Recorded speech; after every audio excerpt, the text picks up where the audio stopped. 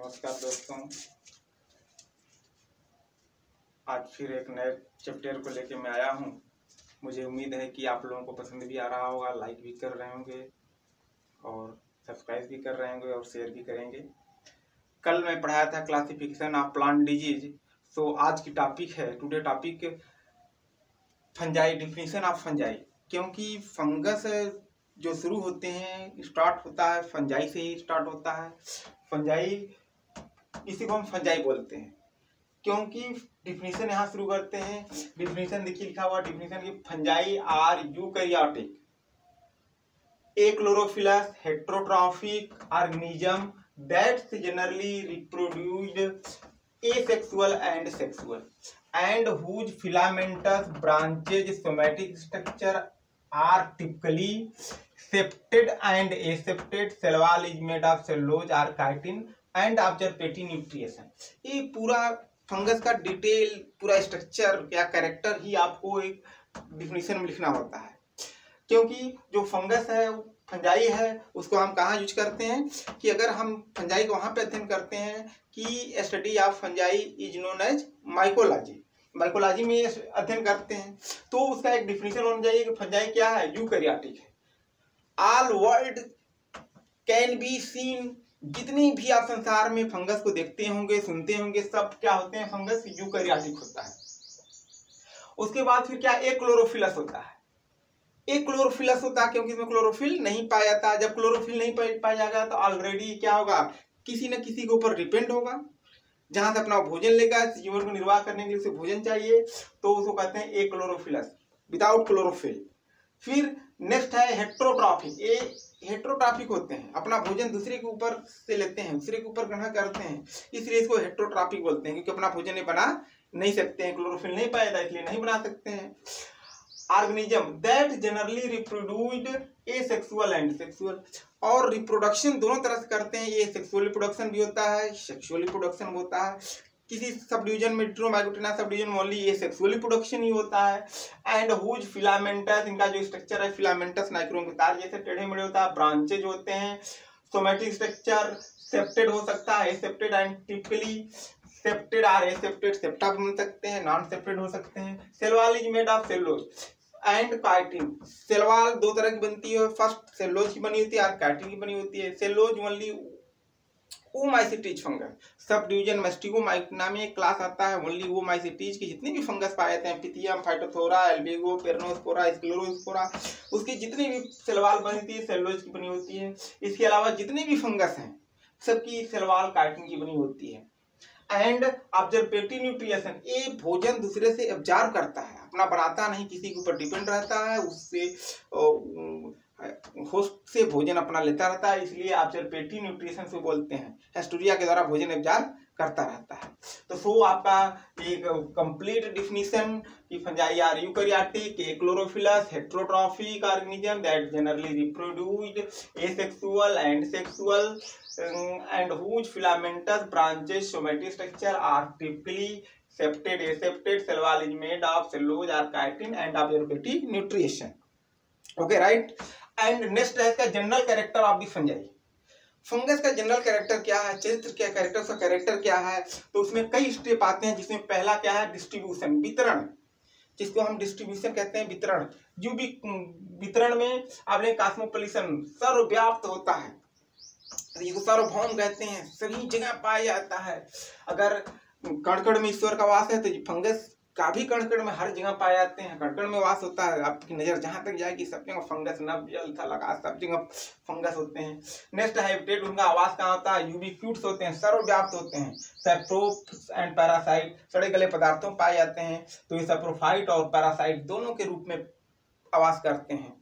Next है nutrition है भोजन कैसे लेते हैं? हेट्रोट्राफिक होते हैं एंड ऑब्जर्वेटिव होते हैं हेट्रोट्राफिक मतलब अपना भोजन नहीं बना सकते हैं। और दूसरे से भोजन क्या करते हैं? और शोषण करते हैं। इसलिए इसको ऑब्जर्वेटिव कहते हैं, सेलवाल सेलोज और काइटिन की बनी होती है। इनकी जो सेलवाल होती है, वो काइटिन की बनी हो सकती है या सेलोज की बनी हो सकती है। काइटिन की सब डिवीज़न जाइगोमाइकोटिना एस्को, बेसेडियो, डिट्रो, सबकी बनी होती है। सिर्फ़ मेस्टिगोमाइकना में एक क्लास आता है, वो माइसिटीज को छोड़ दिया जाए तो वो माइसिटीज के अलावा जितने भी एक्सेप्ट, वो माइसिटीज के अलावा जितने भी एक्सेप्ट, वो माइसिटीज, एक्सेप्ट जितने भी है, फंगस, उनकी सेलवाल सेलोज की भी बनी काइटिन की भी बनी होती है। नेक्स्ट है nuclear status, not well develop nucleus development, develop नहीं होता। है अक्लियर बहुत क्लियर दिखाई नहीं देता, लेकिन न्यूक्लियस होता है, इसलिए इनकी अवस्था जो होती है next sexuality asexual reproduction कर सकते हैं सेक्सुअल रिप्रोडक्शन कर सकते हैं। कुछ फंगस ऐसे हैं कि ओनली ए सेक्सुअल रिप्रोडक्शन होता है, जैसे सब डिवीज़न डिट्रोमैकोटिना में। डिट्रोमैकोटिना में जितने फंगस पाए जाते हैं, उनको रद्दी की टोकरी भी कहा जाता है, क्योंकि जिस फंगस का पहचान ना हो कैरेक्टर पहचान ना हो तो सब डिजिन नाम डाल दीजिए। बाद में फंगस पहचान होने पर उसका स्वरूप बदल जाता है उसी को हम परफेक्ट स्टेज भी कहते हैं। तो उसमें जो रिप्रोडक्शन होता है ये सेक्सुअल होता है एंड सेक्सुअल होता है। नेक्स्ट है कि life cycle simple to complex life cycle आसान भी हो सकती है और कठिन भी हो सकती है। आसान से भी कट, आसान से कठिन हो सकती है। दोनों कंडीशन हो सकते हैं। बहुत आसान से जैसे टिट्रोमाग्नाक फंगस है। लाइफ साइकिल कम एकदम आसान होती है एकदम सिंपल होती है। बट इसके अलावा जितने भी सब डिवीज़न है सबकी लाइफ साइकिल सबकी ज़्यादा होती है कम्प्लेक्स होती है, कठिन होती है एंड स्पोरोकार स्पोर फार्मेशन होता है। इसमें स्पोर फार्म अब जितने भी आप पूरे होल वर्ल्ड पूरे संसार भर में प्रेजेंट टाइम में present eighty thousand to one lakh fungus पाए जाते हैं। कितनी पाए जाते हैं? Eighteen thousand to one lakh इसमें हमको अंदाज नहीं होता, हम लोग बड़ा पढ़ते होंगे, दो, चार, दस, बीस, पच्चीस, पचास फंगस पढ़ते होंगे बट आल वर्ल्ड में इस समय पूरे फंगस की संख्या एक एवरेज मान के कहता है कि एट्टी थाउज़ेंड से ऊपर वन लाख के लमसम में होंगे। अब जितनी भी सब डिवीज़न है, जैसे आपने देखा होगा सब डिवीज़न सब डिवीज़न कितने होते हैं? जैसे मान लीजिए आपका पहला सब डिवीज़न मेस्टिगो माइकोटीना मैस्टिगो माइकोटीना दूसरा क्या होता है? जाइगो माइकोटीना होता है। और तीसरा क्या होता है? एस्कोमाइकोटीना। चौथा क्या होता है? बेसिडियो माइकोटीना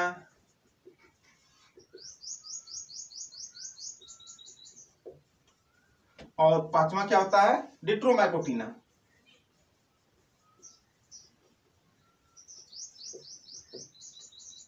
डिट्रोमैकोटीना इसको हम लोग एक लाइन में पढ़ाते हैं कि जैसे मेस्टिगो आपको याद करना होगा सिस्टम से तो मेस्टिगो, माइकोटीना के बाद फिर जाइगो आता है, फिर एस्को आता है, बेसिडियो आता है, डिट्रो आता है। इसके लिए एक फार्मूला मान लीजिए, हमने एक फार्मूला बनाया जैसे मेस्टिगो माइकोटीना से आप लिख सकते हैं मैडम। मैडम जाइगो माइकोटीना से जाएँगी। एस्कोमाइक्टना से आज बेसिडियोमाइक्टना से बहुत और डिट्रोमाइकोटिना से देर ये फॉर्मूला आप याद रखिए आजीवन आपको नहीं भूलेगा। सिस्टम से आप बता सकते हैं मैडम जाएँगी आज बहुत देर, मैं से मैं से मैडम से मतलब मेस्टिकोमाइकोटिना जाएगी से मतलब जाइगो माइगोटिना और आज से मतलब एस्को माइगोटिना बे से माइगोटिना एंड डी से डिट्रो माइगोटिना फ़िलहाल एक छोटा सा फार्मूला दिए हैं। एक हम लोग कंपटीशन में अलग से फार्मूले पढ़ाते हैं। तो वो कितने सब डिवीज़न पूरे फंगस को बांटा गया है? पाँच subdivision Ascomycotina Basidiomycotina and Deuteromycotina right yes next topic में आप देखिए इकोनॉमिक इंपॉर्टेंट ऑफ़ फंजाई लिखा हुआ है। इकोनॉमिक इंपॉर्टेंट पूरे फंगस का आखिर कुछ न कुछ आर्थिक महत्व होगा।